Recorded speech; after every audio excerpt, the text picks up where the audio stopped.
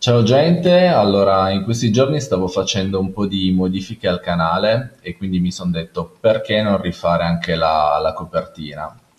E, e quindi sono andato nelle impostazioni, modifica grafica al canale e eh, come vedete ci vuole una dimensione precisa, quindi 2560 x 1440 pixel.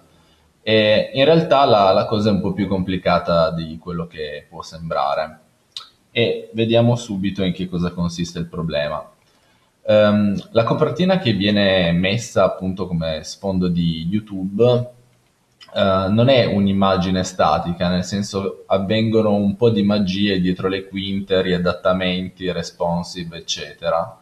Per esempio, se ridimensiono, vedete esce fuori del nuovo spazio da riempire, anche qui gli allineamenti sono un po' diversi, eccetera, eccetera. E, e quindi cosa fare? Quando, quando voi fate l'upload, vi farò poi vedere, eh, YouTube vi dà la possibilità di eh, croppare, quindi di, di, selezionare una porzione di, di questa immagine, anzi ve lo faccio vedere adesso. Il problema è che è meglio uh, che noi stessi stabiliamo la, la dimensione di questa immagine, perché altrimenti poi uh, risulta abbastanza difficile ricreare delle mm, visualizzazioni ripetibili. E ho provato a cercare appunto su internet delle soluzioni già pronte, però ho visto che non, non funzionavano al massimo. Vedete qua vi fa vedere come viene nel desktop, quindi con questi spazi laterali, come viene vista nella TV, che in realtà non ce ne frega più di tanto, e come viene vista sul, sul cellulare eh, voi potete fare seleziona, eh, in alternativa vi permette di fare ritaglia foto, io ve lo sconsiglio, però vi faccio vedere in che cosa consiste. Nel senso, vedete questo spazio colorato diversamente, eh, questo qui è quello che effettivamente ci interessa a noi nel, nel disegno. E tra l'altro, se notate qui, eh, l'etichetta rossa mi viene tagliata in modo errato, quindi non, non fate troppo affidamento in, in questa visuale.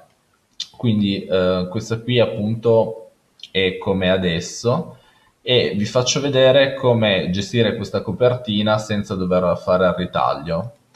Uh, allora, innanzitutto uh, dovete avere Inkscape installato o comunque eh, qualsiasi programma che, che vi permetta di, di rielaborare le immagini Qui mi sono messo appunto delle guide che eh, ci permettono di um, appunto posizionare meglio gli elementi all'interno di, di questa pagina.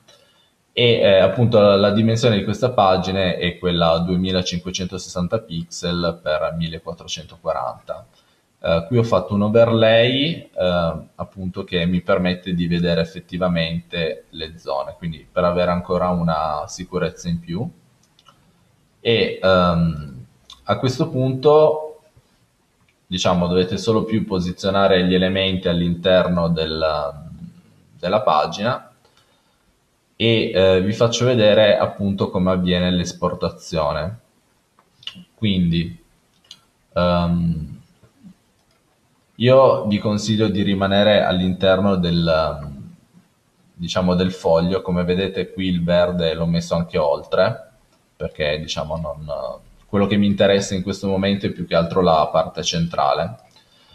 Um, quindi a questo punto, per farvi vedere che effettivamente sto modificando, mettiamo giallo, ok, questo punto faccio file, esporta immagine png e, e, qui dovete fare un attimo occhio perché eh, non vi viene esportata eh, il foglio, la pagina, ma vi viene esportato diciamo il disegno. Quindi mi raccomando cliccate qui su pagina. A questo punto abbiamo appunto le dimensioni in pixel che sono esattamente quelle che ci servono, 2560 x 1440 e eh, a questo punto qui vi viene detto un, uh, un, percorso dove salvarla, io me la salvo qua e faccio esporta.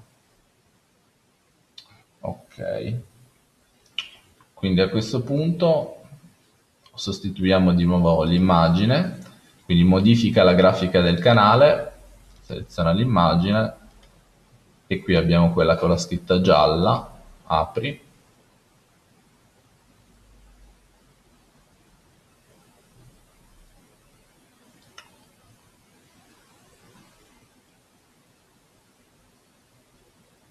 Ok, qui ci fa vedere l'anteprima, sembra abbastanza buona e quindi facciamo seleziona. Salvataggio in corso. Perfetto, quindi abbiamo sostituito la, la copertina con questa qui nuova e anche qui eh, possiamo controllare. Avvengono appunto queste sovrapposizioni che non sono sempre tanto carine, quindi appunto se mettete degli elementi tenete conto di, di questo aspetto perché comunque ad alcune risoluzioni o a certe dimensioni pix, di pixel ehm, quello che accade ecco tipo qui è perfetto però appunto c'è stato un, uno zoom quindi non fate riferimento alle dimensioni che vedete qui per esempio con, con analizza elemento ma uh, fate eh, riferimento al, um, al, file svg che appunto vi metterò in descrizione. E quindi in questo modo riuscite anche voi a fare dei, delle copertine. Volevo farvi vedere la dimensione.